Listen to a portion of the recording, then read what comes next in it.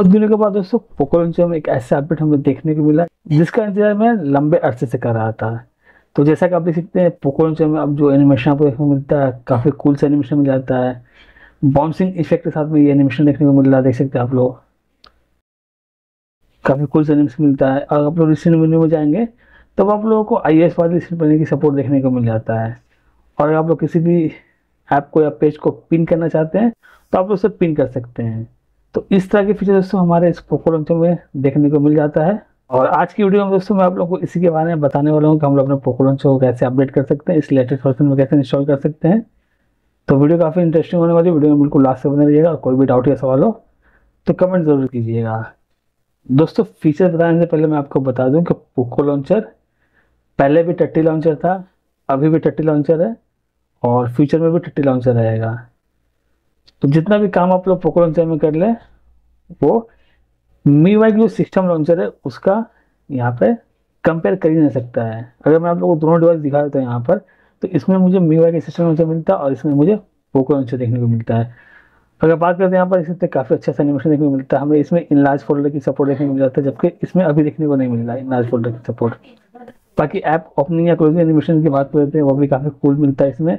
जबकि इसमें उतना कुछ खास नहीं लगता है। खैर दोस्तों something is better than nothing तो अपडेट तो मिला है, अगर मैं आप लोग को लॉन्चर की सेटिंग मिलाकर दिखाते हैं यहाँ पर। तो जो लॉन्चर मैं यहाँ पर यूज़ कर रहा हूँ फोर पॉइंट थ्री में एक मॉडर्ड लॉन्चर है क्रोनोस मोड की तरफ़ से देखने को मिलता है। तो इस लॉन्चर की सारी क्रेडिट इसके डेवलपर को जाता है, जिन्होंने इसे पोर्ट किया है। तो आगे बढ़ने से पहले मैं आपको बताता हूँ, अगर आप इसे अपने फ़ोन में इंस्टॉल करना चाहते हैं तो इसके लिए आप लोग अपने फ़ोन को रूट करना होगा और रूट करने के बाद इसे मैजिस मॉडल की मदद से अपने फ़ोन से इंस्टॉल करना होगा। और इंस्टॉल करने के बाद दोस्तों, अगर मैं आप लोगों को सारे फीचर्स के बारे में बता दूँ, यहाँ पर तो सबसे पहले जो फीचर आपको मिलता है, वो आप देख सकते हैं एनिमेशन काफ़ी पहले से अच्छा हो गया है। जिससे आप लोग अपने फ़ोन की लॉन्चर की सेटिंग जाने के बाद पोको की सेटिंग जाने के बाद एनिमेशन स्पीड को यहाँ पर कंट्रोल कर सकते हैं। अगर आप लोग रिलैक्स करेंगे तो आप लोग काफ़ी कूल प्यारा सा आई वाला एनिमेशन देखने को मिलेगा ओपनिंग क्लोजिंग भी काफ़ी अच्छा देखने को मिल जाता है।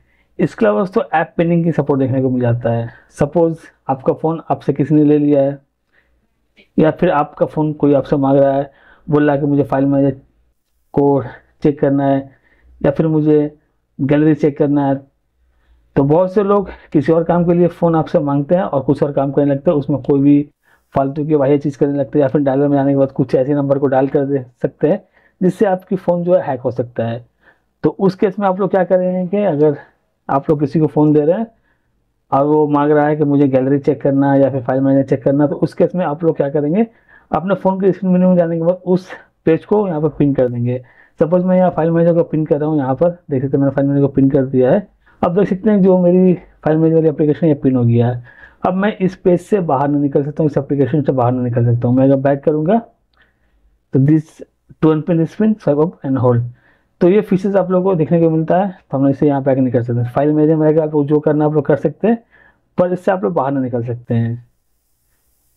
अनपिन कर सकते हैं या फिर अपने फ़ोन को पावर ऑफ़ कर सकते हैं।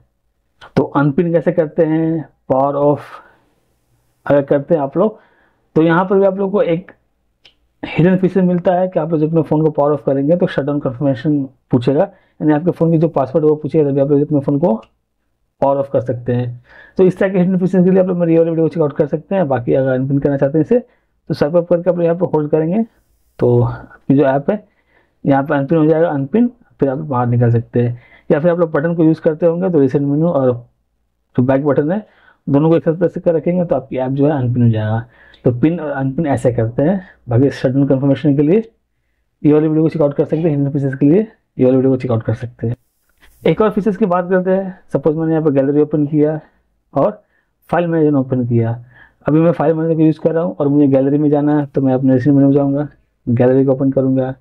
फिर मुझे अगर फ़ाइल मैनेजर में जाना है तो फिर मैं रिसीन मेनू में जाऊँगा और फ़ाइल मैनेजर को ओपन करूँगा। पर दोस्तों, यहाँ पर एक ऑप्शन मिलता है कि आप यहाँ पर बैक करके स्कूल से होल्ड करेंगे तो आप लोग लास्ट वाले एप्लीकेशन में स्विच कर जाएँगे। देख सकते हैं मैं गैलरी में आ गया, अब फिर मैं यहाँ पर बैक करके स्विच थोड़ा सा होल्ड करूँगा तो मैं फ़ाइल मैनेजर पर स्विच कर गया। तो लास्ट वाले एप्लीकेशन में आप स्विच करना चाहते हैं तो उसके लिए आप लोगों को लॉन्चर की सेटिंग में जाकर आप लोग यहाँ पर जाना है। Go back to previous application इस ऑप्शन को आप लोग इनेबल कर देना उसके बाद आप लोग जो भी एप्लीकेशन लास्ट एप्लीकेशन यूज़ कर रहे होंगे सिर्फ़ आप लोग यहाँ पर बैक एंड होल्ड करना, आप लोग लास्ट वाले एप्लीकेशन में स्विच कर जाएँगे। बाकी दोस्तों लॉन्चर की सेटिंग में आने के बाद आप देख सकते हैं, आपको काफ़ी सारे ऑप्शन मिल जाते हैं। ऐप ड्रॉ किसको किस तरह यूज़ करना चाहते हैं क्लासिक या ऐप ब्राउज़र आप यूज़ करना चाहते हैं, और ये सब ऑप्शन देखने को मिल जाता है। न्यू अनलॉक एनिमेशन मिलता है फ्लूड एक्सपीरियंस आप लोग जैसे मैंने कहा आप लोग को, ये जो इफ़ेक्ट वगैरह है बाउंसिंग इफ़ेक्ट है एनिमेशन है वो सब कुछ आप लोग को देखने को मिल जाता है। ओल्ड विज़िट प्रोवाइडर ये आपको देखने को मिल जाता है। और आई वाली रिसेंट मेन्यू को एक्टिवेट करना चाहते हैं तो आप लोग को एड्रेस में जाने के बाद एड्रेस में जाना है।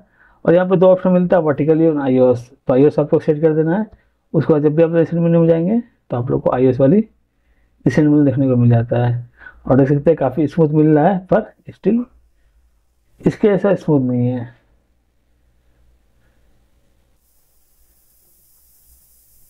ये 120 ट्वेंटी हर्ट्स है, ये 60 हर्ट्स है, पर फिर दोस्तों इसमें जो स्मूथ मिलता है वो इसमें देखने को नहीं मिलता क्योंकि Poco launcher is a waste launcher और दोस्तों पोको लॉन्चर में हमें पहले बहुत से फीचर देखने को मिलता था, जैसे कि थर्ड पार्टी आइकन पैक को हम लोग इंस्टॉल कर सकते थे, वो सब सपोर्ट देखने को नहीं मिलता। है तो जो सपोर्ट मिल रहा है, आपको यहाँ पर देखने को मिल सकता है।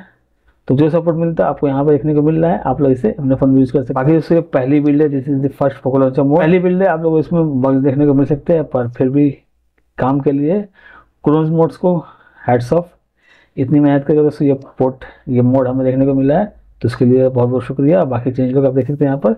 ये सारे चेंज आपको देखने को मिलते हैं, जिसके बारे में मैंने आप लोग को ऑलरेडी यहाँ पर बता दिया है।